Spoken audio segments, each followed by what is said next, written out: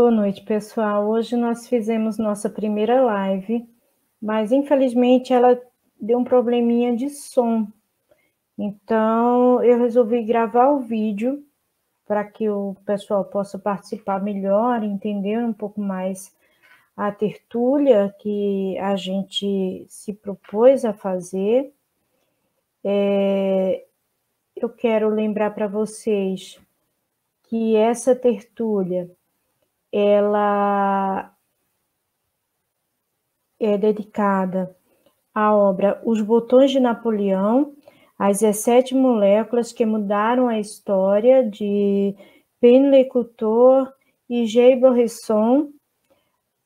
Nós escolhemos para trabalhar essa obra o capítulo 9, é, que fala sobre os corantes.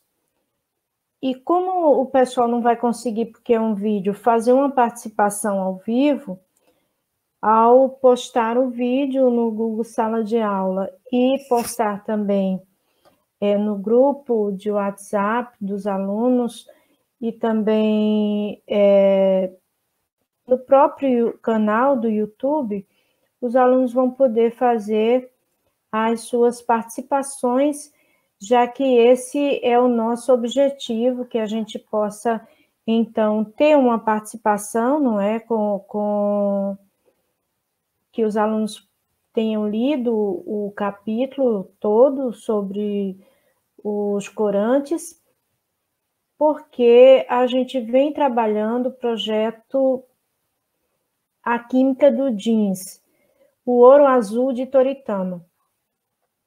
E a gente sabe que o índico é, foi muito importante para que o jeans se fixasse hoje como uma das peças né, da indústria têxtil que é mais vendida e, e usada no mundo inteiro.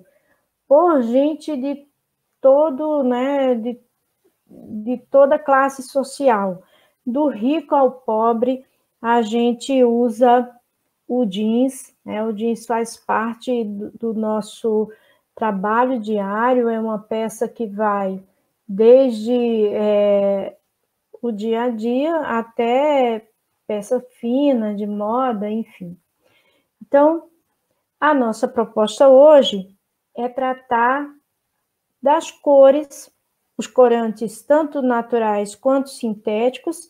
A gente sabe que eles tingem as nossas roupas, nossos móveis, eles tingem é, nosso rosto, nossos, nossas unhas, pintam nossos cabelos, e apesar disso, quando a gente quer uma cor mais forte, uma nuance mais vibrante, a gente não imagina o processo que é, o trabalho que dá de envolver, não é? Todo esse esse material e o, o, trabalho, a própria mão de obra mesmo, desde o início da extração até as reações químicas, as separações de misturas, até chegar a obter o composto, as substâncias. Então, o, a extração e o preparo de matérias corantes, elas são mencionadas na literatura chinesa há tempos muito remotos, cerca de 3 mil anos antes de Cristo, já se falava na extração desses corantes. Talvez essa tenha sido uma das primeiras tentativas humanas né, de trabalhar com a química. A alquimia é, trabalhava bastante a fabricação de chás, de tinturas, de ungüentos, enfim. É, os processos de extração eram bem estabelecidos e, com frequência, é, eram muito complexos. A maior parte das substâncias não se fixam muito bem e necessariamente precisam de mordentes. A gente costuma usar o, esse é um mordente talvez mais barato, mais comum, que é o sal, não é? Que ajuda a fixar a cor na fibra.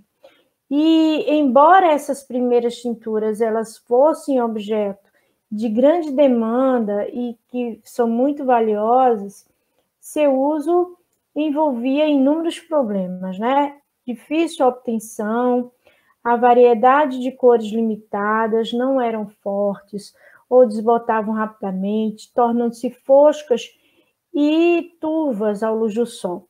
As primeiras cinturas, poucas vezes, eram firmes.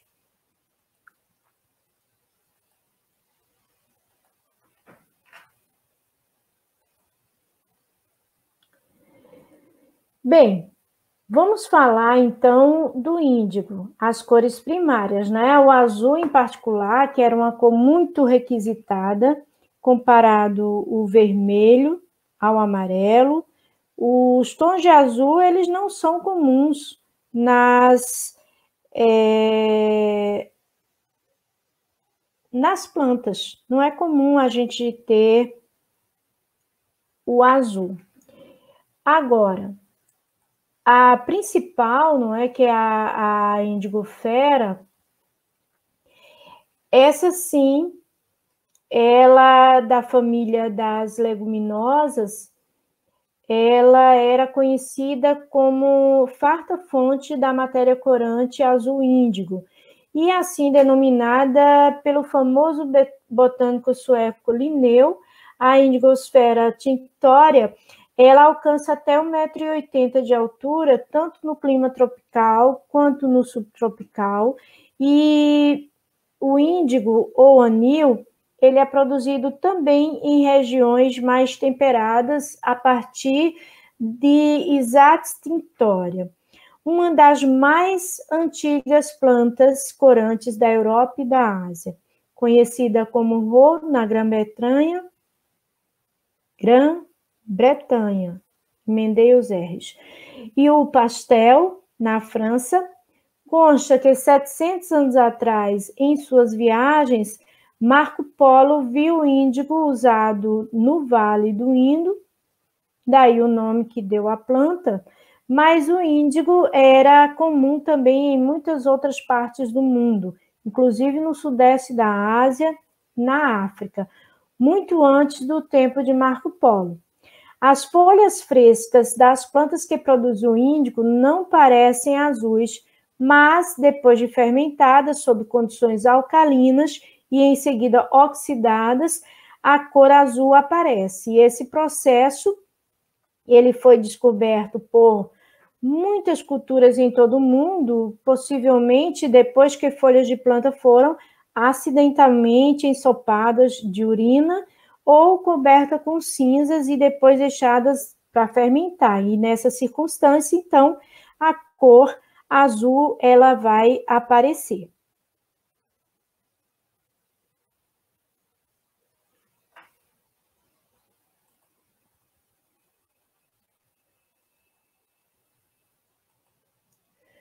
O composto precursor do índigo, ele é encontrado em todas as plantas que eu produzo e é esse aqui, o Indican, e ele não tem cor. Ele tem uma molécula de glicose que está associada a ele. E a própria Indican, né, não tem cor, quando ela sofre fermentação, sob condições alcalinas, ela vai romper essa ligação com a glicose e vai é, adquirir o oxigênio, e nesse caso, ele forma uma outra molécula chamada indoxol, e o indoxol também não tem cor. Mas sobre é, o processo de oxidação, quando ela reage com o ar, com o oxigênio do ar, ela vai adquirindo então a coloração azul que a gente denomina indigotina, como os químicos chamam essa molécula. Então, o índico é uma molécula absolutamente muito valiosa, mas ainda não é a mais cara. A gente tinha uma outra molécula muito semelhante, conhecida como púrpura de tiro. Em algumas culturas, o uso da cor púrpura era restringido por lei apenas para rei ou imperador. Daí o outro nome desse corante, que é chamado púrpura real. E a expressão nascido para a púrpura, indicando uma árvore genealógica aristocrática, até hoje a púrpura é vista como, como uma cor imperial, um símbolo de realeza, mencionada em textos datados de cerca de 1600 a.C. A púrpura de Tiro é o derivado de bromo do índigo ou de bromo índigo, que é uma molécula que tem dois átomos de bromo. A púrpura de Tiro era obtida de um muco opaco, secretado por diversas espécies de moluscos marinhos e, em geral, do gênero Murex. O composto secretado pelo molusco, ele está, como na planta índigo, associado também à unidade de glicose. Vejam só, a cor brilhante da púrpura de tiro, ela só se revela depois que sofre oxidação. E aí, quando ela sofre oxidação, ela vai adquirir, então, a molécula de bromo índigo, que é essa que tem a cor azul.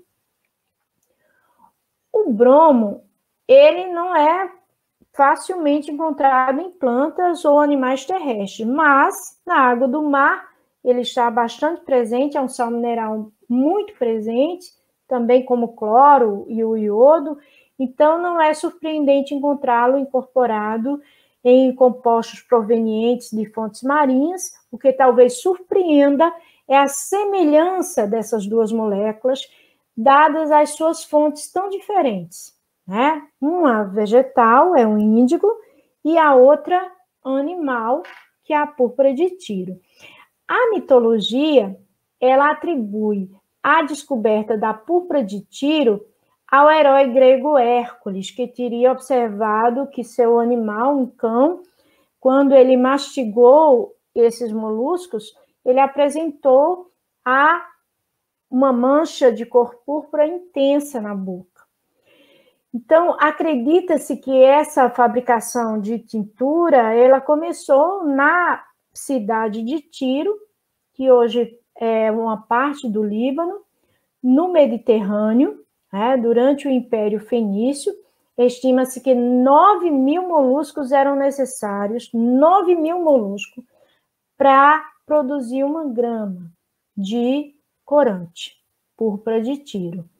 Até hoje, montes de conchas de moluscos murex, brundax e púrpura amastona, eles podem ser encontrados nas praias, tanto da cidade de Tiro como na cidade de Sidon, que é outra cidade fenícia, também envolvida no comércio de tinturas da antiguidade.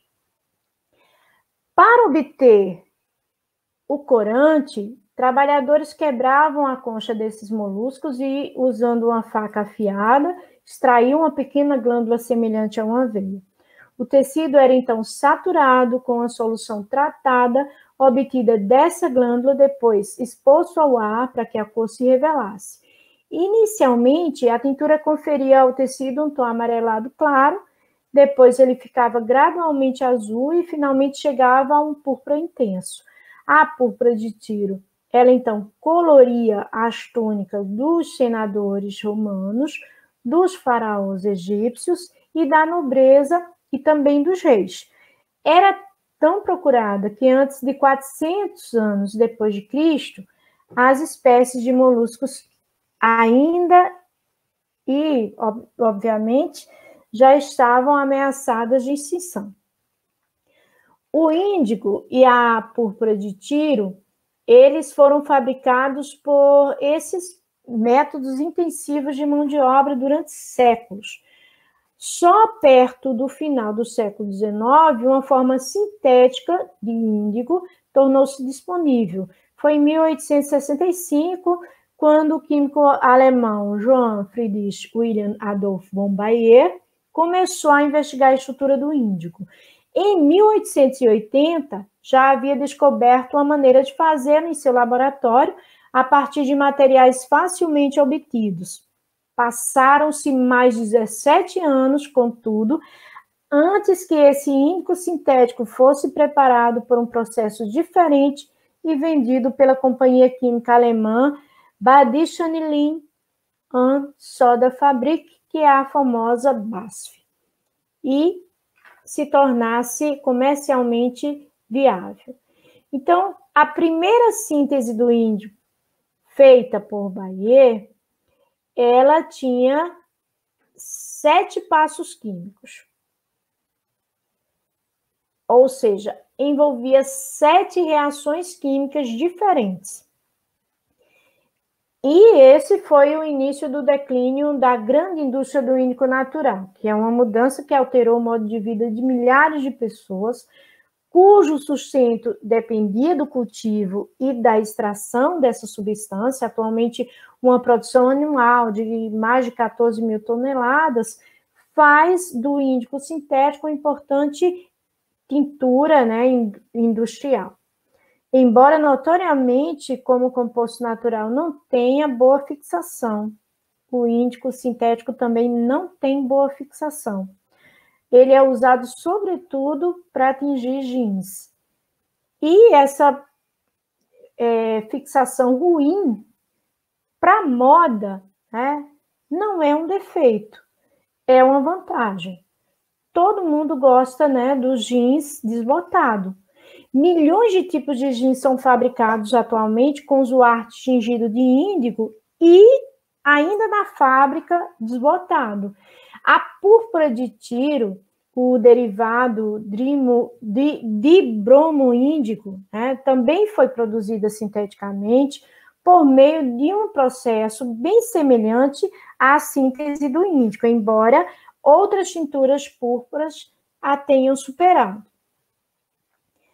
As tinturas, elas são compostos orgânicos coloridos que são incorporados às fibras. A estrutura molecular desses compostos permite a absorção de certos comprimentos de ondas de luz do espectro visível. A cor real da tintura depende desse comprimento de onda de luz visível, que é refletida de volta, em vez de absorvida. Se você absorve todo comprimento de onda, a luz refletida é o preto, ou seja, nenhuma, né? Todas as cores absorvidas. Se, ao contrário, todas as cores são refletidas nesse espectro de onda de luz, você vai visualizar o branco. Né? Se somente o comprimento de onda vermelha for absorvido, a luz refletida complementar é a verde a relação entre o comprimento de onda absorvido e a estrutura química da molécula, ela é muito semelhante à absorção de raios ultravioletas por protetores solares. Isto é, depende da presença de ligações duplas em alternância com ligações simples. Mas, para que o comprimento de onda absorvido esteja na amplitude visível e não na região ultravioleta, ela deve haver um maior número dessas ligações alternadas, duplas e simples, como vocês podem ver aqui na molécula do beta-caroteno, que é responsável pela cor laranja da cenoura e da abóbora. Então, ligação simples, dupla, simples, duplas alternada, vocês estão vendo nessa molécula de beta-caroteno, pelo menos 11 dessas ligações duplas, que a gente chama de ligações conjugadas. Essa conjugação, ela pode ser estendida e o comprimento de luz absorvido quando átomos como oxigênio, nitrogênio, enxofre, bromo, cloro também fazem parte do sistema alternante.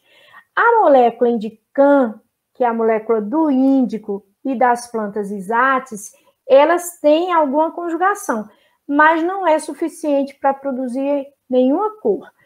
Então, ela é uma molécula incolor. A molécula do índico, ou, ou, pelo menos é uma molécula sem cor. A molécula do índico, ela apresenta duas vezes mais ligações simples e duplas que o indicam e possui também átomos de oxigênio como parte da combinação de conjugação.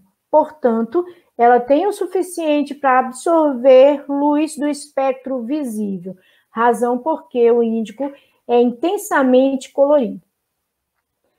Afora as tinturas orgânicas, os minerais finamente moídos e outros compostos inorgânicos também foram usados desde a antiguidade para criar cor. Mas, embora a cor desses pigmentos encontrados em desenhos feitos em cavernas, decorações de túmulos, pinturas de murais, afrescos, também se deva à absorção de certos comprimentos de onda, ela nada tem a ver com ligações duplas conjugadas. Os dois corantes antigos comumente usados para tons de vermelho têm fontes diferentes, mas estruturas químicas parecidas. O primeiro deles vem da raiz de uma planta chamada garança, pertencente à família rubiácea. A garança ela contém uma matéria corante chamada alizarina, provavelmente a alizarina ela foi usada em primeiro lugar na Índia, mas também era conhecida na Pérsia e no Egito muito antes que gregos e romanos a utilizassem. Trata-se de uma matéria corante mordente, ou seja, que precisa de um fixador. E esse fixador, essa outra substância, que pode ser um íon ou um metal, vai ajudar a aprender a cor no tecido. Diferentes cores, elas podem ser obtidas tratando-se primeiro o tecido com diversas soluções de mordentes de sal de metal. O íon alumínio, como mordente, ele produz um vermelho intenso, ligeiramente azulado. O mordente de magnésio, ele produz uma cor violeta cromo, um violeta acastanhado. E o cromo, no caso, produz um violeta acastanhado. E o cálcio, uma cor púrpura avermelhada. O vermelho vivo obtido quando o mordente inclui íons de alumínio e cálcio ao mesmo tempo ele podia ser produzido usando-se uma mistura de argila com raiz de garança seca, esmagada e pulverizada no processo de tingimento. E foi essa, provavelmente, a combinação corante-mordente usada por Alexandre Magno em 320 a.C., num estratagema de atrair o inimigo para uma batalha desnecessária. Ele, muito sabido, ordenou a seus soldados que manchassem os seus uniformes com essa mistura, né, vermelho-sangue, e o exército da Pérsia achava que esses soldados estavam feridos e não iam apresentar resistência, e foi então facilmente derrotados pelos soldados de Alexandre, que estavam em menor número. E se a história for verdadeira, eles foram vencidos por essa molécula de alizarina, ou pelo menos com a ajuda dessa molécula de alizarina, de ajuda com esse corante cor de sangue. As tinturas há muito estão associadas a fardas militares. Os casacos azuis fornecidos pela França aos norte-americanos durante a Revolução da Independência eram tingidos com índigo. O exército francês usava uma tintura de alizarina vermelho alaranjado conhecido como vermelho turco, porque a garança fora cultivada durante séculos no Mediterrâneo Oriental, embora provavelmente tenha sido originado na Índia e passado gradualmente através da Pérsia e da Síria até a Turquia. A garança ela foi introduzida na França em 1766, no final do século XVIII, havia se tornado uma das mais importantes fontes de riqueza do país. É possível que os subsídios do governo à indústria tenham começado justamente com a indústria de tinturas. O rei Luís Felipe ordenou que os soldados do exército francês usassem então calças tingidas de vermelho turco. Bem mais de 100 anos antes, o rei Jaime II da Inglaterra havia proibido a exportação de tecidos não tingidos para proteger os tintureiros ingleses. O processo de tingimento com corantes naturais nem sempre produzia resultados uniformes e com frequência era muito trabalhoso, muito demorado. Mas o vermelho alaranjado ou vermelho turco era uma cor viva, bonita, que tinha excelente fixação. A química do processo não era compreendida e tinha algumas operações bem esquisitas, né, aos nossos olhos e provavelmente desnecessárias. Dos dez passos que foram registrados nos manuais dos tintureiros da época, muitos são realizados mais de uma vez, em diferentes estágios, né? O tecido ou o fio, ele era fervido em potassa e numa solução de sabão. Depois misturado azeite de oliva e um pouco de giz que serviam como mordentes. Depois, o tecido ou fio era tratado com esterco de carneiro, material de curtimento e um sal de estanho, e por fim, além de tingido com garança, era posto para enxaguar de um dia para o outro em água de rio. Hoje, conhecemos a estrutura da molécula de alizarina, responsável pela cor vermelha alaranjada, e outros tons que também são obtidos a partir dessa planta, da garança. A alizarina é um derivado da antraquinona, que é um composto que derivam várias matérias corantes, mais de 50 compostos, eles são baseados na antraquinona e foram encontrados em insetos, em plantas, em fungos, em líquens, como no caso do índigo, a substância antraquinona, ela não é colorida, mas os dois grupos OH do lado direito do anel na alizarina, combinados com ligações duplas e simples alternadas no resto da molécula, fornecem a conjugação suficiente para que a alizarina possa, então, é, absorver a luz visível e, no caso, aparecer o vermelho. Os grupos OH, eles são mais importantes para a produção de cor nesses compostos que o número de anéis. E isso se verifica igualmente em compostos derivados da